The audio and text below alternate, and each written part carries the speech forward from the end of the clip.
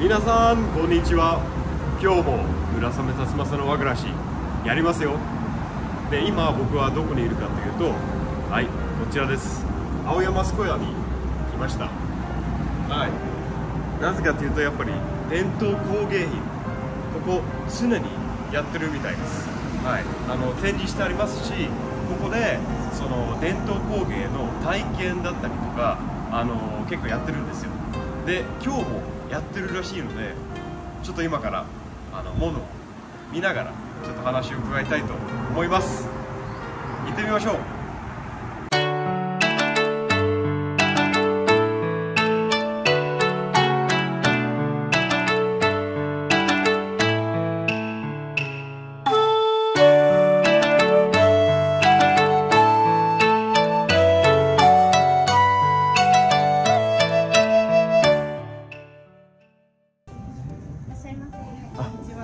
ちはよろしくお願いいたします。素敵な空間ですねあありがとうございます。ここはあの伝統工芸青山スクエアは全国の伝統的工芸品を展示販売しています。あそうなんですね、今だけは山梨県の展示なんですか、はい、今の期間であの山梨県の郷土工芸品の展示と販売。それからこちらの方に京焼き、清水焼きの清水焼きですか？はい。あそうなんですねなんかせっかくなのではい。ちょっと見ていこうかなと思ってるんですけど、はいい、いですか、はいなんかちょっともちご案内いただきはい。ながらって感じで、はい、よろしくお願いします。あよろしくお願いします、はい、よろしくお願いいたします。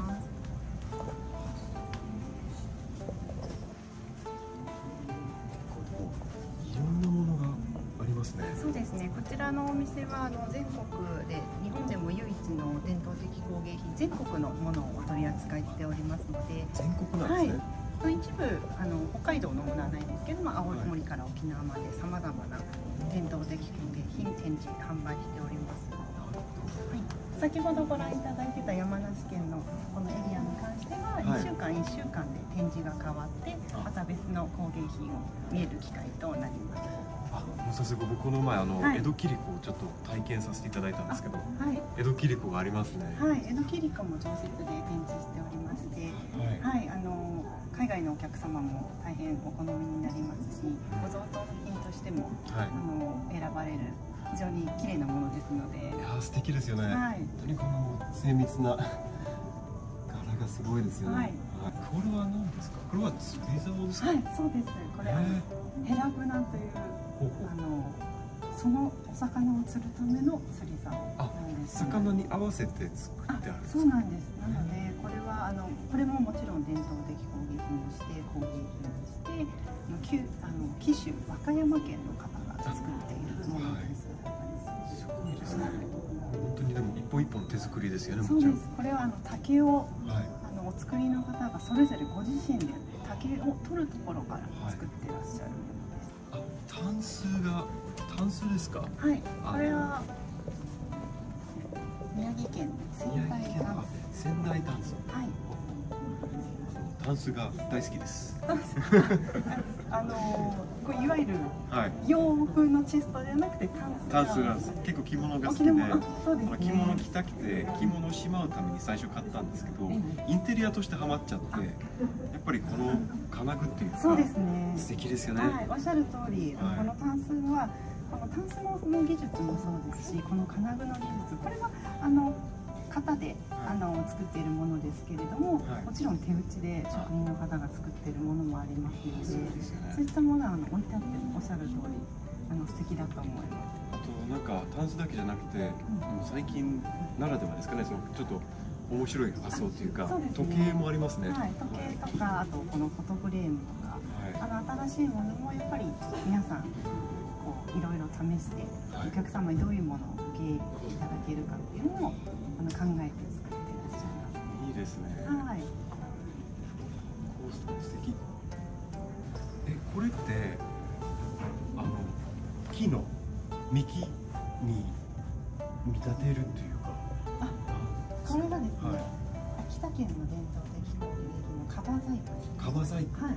山桜のこう表皮皮のはい部分ですね。はいなので木の部分ではなくてその外側にこう覆われてるうん木の表面部分のものを使っているサイクルでもなんかこの辺のあのお茶のこの器ですけど、はい、なんか樹皮だから木に見え木みたいですね。なんか見えてす、ごい素敵ですよね、はい、これはあの茶室ももちろん伝統的に、はい、あの茶葉を入れるもので今コーヒーを入れたりするものですけども。素敵ですね、はい。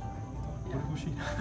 コーヒーお茶も飲みますか？あ、お茶もコーヒーも大好きなので、これ素敵だなと思って。うんはい結構海外のお客様もあの本当に毎日絶対あの一つはお客様お持ち帰りいただけるようなとても人気のあるものですねなるほど。いや、これは素敵。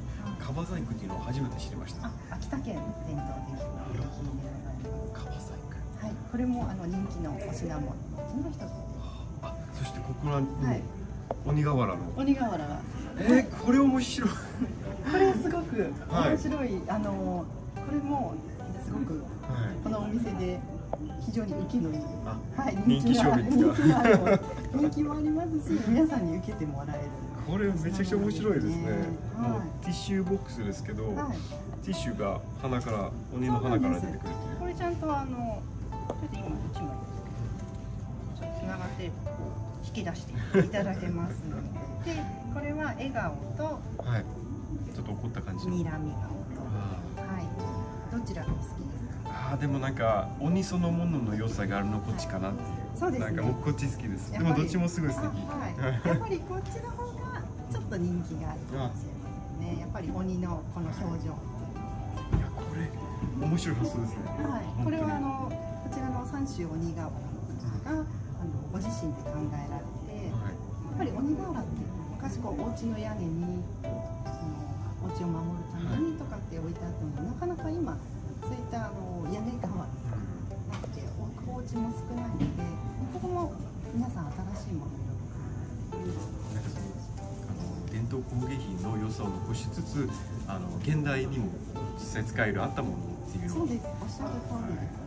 やっぱその伝統工芸品の中のこういった発想とか進化って結構あるんですね。そうですね。皆さん本当にどの方たちも何か新しいはい今あの生活スタイルに合うものでもその技術と伝統は残って作ってます。素敵ですね。はい。あ欲しくなりました。これは本当にあの土を焼いてますあので、そうですよね。はい、非常に重いです。そうですよね。は素敵。あそして風鈴もい。はい。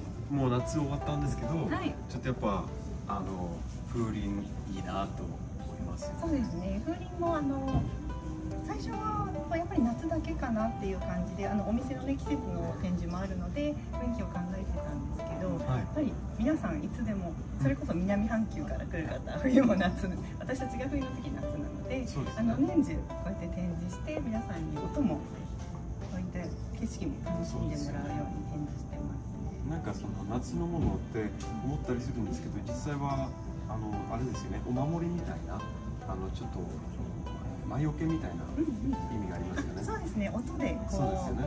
魔除けっていうのもよく日本ではね昔から言われてます。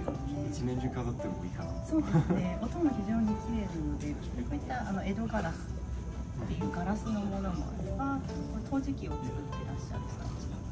じゃあこれってあれですか、あの各地域のちょっと代表的なものあ、そうですね。あのこれだと南部的岩手県の芋のはい。はいの産地のもの。これは竹とその芋の南部鉄を合わせた。駿河って書いてありあますね。、そうです。静岡県の伝統的工芸品でございます。やっぱりいろんな風鈴がありますね、地域によって。すね。はい。皆さんがお捨て